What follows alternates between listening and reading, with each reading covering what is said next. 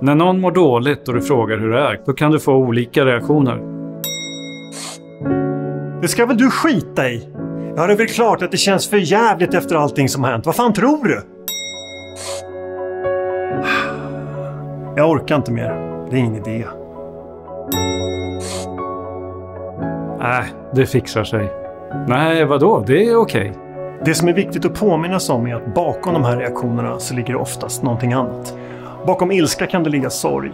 Bryter man ihop så kan det handla om hopplöshet.